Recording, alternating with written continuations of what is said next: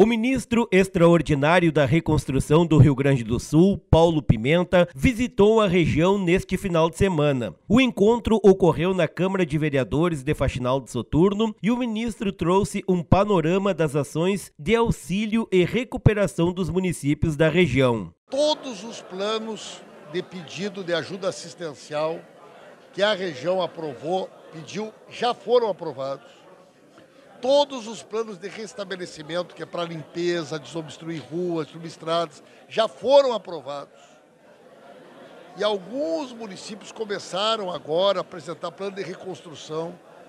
Basicamente é reconstrução de pontes, de bueiros, o pedido da audiência veio por meio do Consórcio de Desenvolvimento Sustentável da Quarta Colônia, o Condesus, do Poder Legislativo da Quarta Colônia e Região e também da classe empresarial. É o momento de pedir nossas reivindicações, de mostrar os nossos problemas.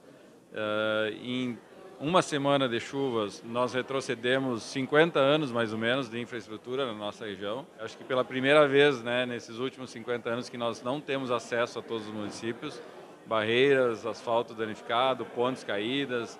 Então, além né, das casas, das vidas que perdemos, de todas as tragédias, esse foi o momento então de mostrarmos isso ao ministro, apresentarmos, agradecer a presença dele aqui e pedir uh, um pronto atendimento por parte do governo federal as nossas reivindicações. Entre os pedidos ao ministro está um plano efetivo de recuperação da região, principalmente na reconstrução de estradas e na manutenção de empregos para fortalecer a economia regional. Está afetando muita gente, né? O comércio, as empresas em geral, tá, né? Estão tá, com dificuldade de de vender, tão dificuldade de, inclusive, uh, encaminhar suas mercadorias, o que está gerando uma séria preocupação com pagamentos de funcionários. Hoje tivemos esse anúncio importante aí do ministro com relação à liberação de crédito, Pronamp, prorrogação de dívidas. Isso é muito importante aí para que o comércio possa se manter e possa seguir em frente, inclusive mantendo os empregos das pessoas,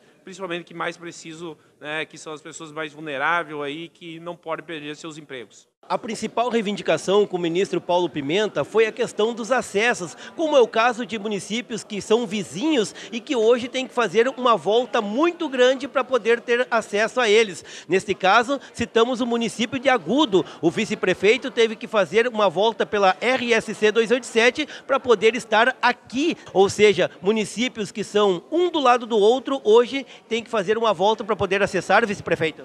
Exatamente. Veja só que uma viagem que duraria aí no máximo 25 minutos para estar onde estamos, nós fizemos em uma hora, porque essa, essa volta teve que ir até a 287 e retornar pela quarta colônia, passando por Polesne.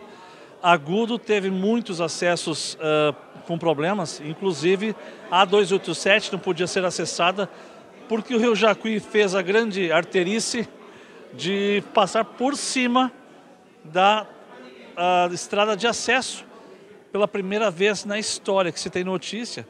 Então não tínhamos nem acesso a 287. Ainda segundo o ministro, novas medidas de apoio habitacional nos setores da agricultura e indústria devem ser anunciados. E as casas, tanto na cidade quanto no interior, das pessoas que têm um salário de até R$ 4.400, isso representa 93% da população brasileira, vão receber uma casa do governo do presidente Lula. Nós vamos fazer isso com as prefeituras, já estamos fazendo o cadastramento. E além disso, nós vamos anunciar um monte de medidas para ajudar a agricultura familiar, o pequeno empreendedor, o médio empreendedor.